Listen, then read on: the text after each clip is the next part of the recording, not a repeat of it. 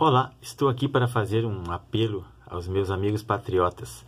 Mas primeiro eu gostaria de fazer um comentário a respeito da palavra fascismo, que muitos intelectuais e a imprensa toda hora está falando nisso, acusando as pessoas de fascistas, chamando um candidato de fascista, sem saber até mesmo o real significado desse termo.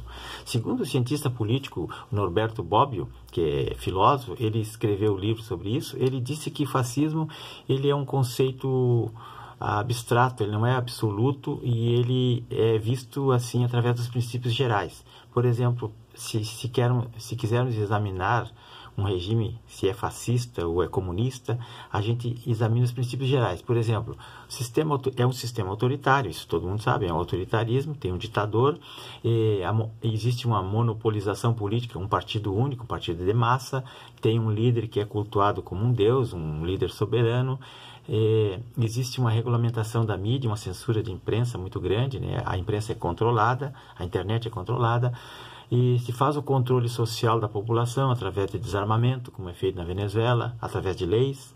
Faz também é, um intervencionismo econômico muito grande, é, é proibido a privatização de empresas e eles criam estatais para empregar as companheiras. Eh, se adota impostos progressivos, tanto nas propriedades privadas quanto no imposto de renda, e existe um, um sindicalismo muito forte, que é o braço armado do, do governo, e também e um, nacionalismo exacerbado, como, como Mussolini fazia na Itália. Ele até dizia: tudo no Estado, nada fora do Estado, nada contra o Estado. O Estado era absoluto.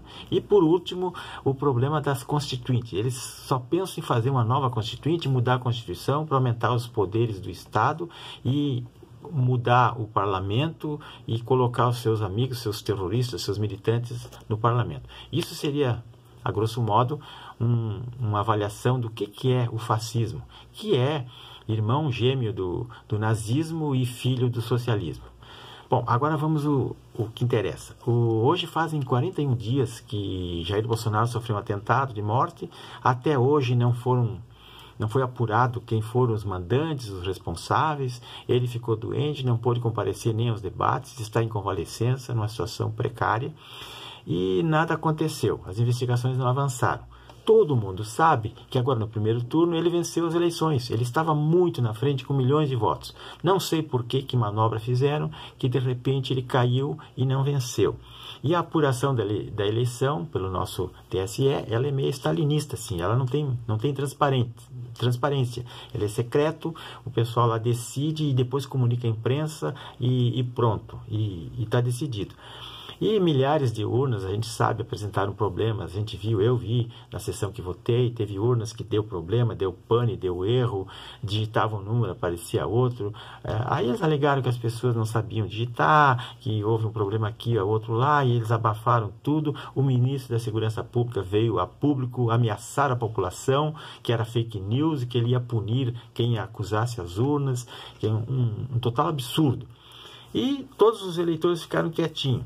Bom, daqui a 10 dias vai haver eleições novamente. E isso pode acontecer de novo e certamente acontecerá. E nós não podemos nos contrapor a isso. Qual a solução então?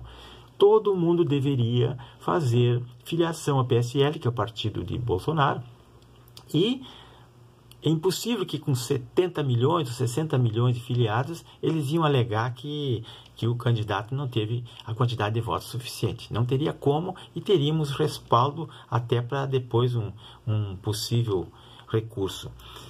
O que, que é preciso fazer? É muito fácil, é só entrar no site do PSL ali no Google e vai abrir uma janela, né, preenche um formulário ali direitinho e manda. Depois vai receber um e-mail dizendo que, que foi que foi cadastrado. Depois das eleições, se a pessoa quiser, vai ali de novo no, no, no link que diz desfiliação, aperta ali, clica e se desfilia e pronto. É tudo de graça, não dói nada e é muito patriótico. Isso aí é um ato cívico de grande significado, porque senão a gente nunca mais vai tirar o PT do poder e nós vamos virar uma Venezuela. Por isso que a gente tem que achar uma solução. Isso aí é a única coisa que nós podemos fazer nesse momento.